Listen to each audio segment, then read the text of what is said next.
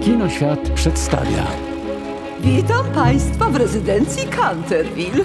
To nasz nowy dom! Sąsiedzi już robią zakłady, jak długo tutaj wytrzymacie. Jak to? To miejsce od lat nawiedza wyjątkowo nawiedzony duch Sir Simona. Całodobowe wsparcie duchowe przybyło! Nie chcę tu mieszkać! Pożyjemy, zobaczymy. nawiedzona komedia na Halloween. Henry Fitzhumphrey, właściciel, były z powodu strasznego ducha. Ciekawe. Won mi stąd! Zdaje się, że nie kumasz, co to jest postęp. Czas na emeryturę. Na Sir Simonie ciąży klątwa.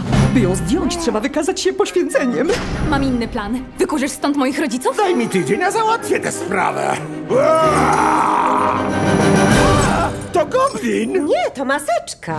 To jest mój dom. Już niedługo! Możecie wypić duszkiem? Nosiu, śpieszę się! Jedziemy z tematem! Też mam swoje sposoby. Oj, a, a, oni się wcale mnie nie boją! Beze mnie Sir Simon sobie nie poradzi. Mój hard ducha zszedł na psy! Jak zdejmiemy klątwę, może nareszcie zacznie żyć pełnią śmierci. Amen. Moja klątwa to nie twoja sprawa! Nic z tego nie rozumiem. Dlaczego nie pozwalasz sobie pomóc? Już wkrótce. Więc ile dokładnie tych duchów pani złapała? Technicznie to będzie mój pierwszy. Upiorze nadchodzę! Pomyłka, to tylko WC. Nadejdzie przeraźliwie śmieszna. Wstrząsające!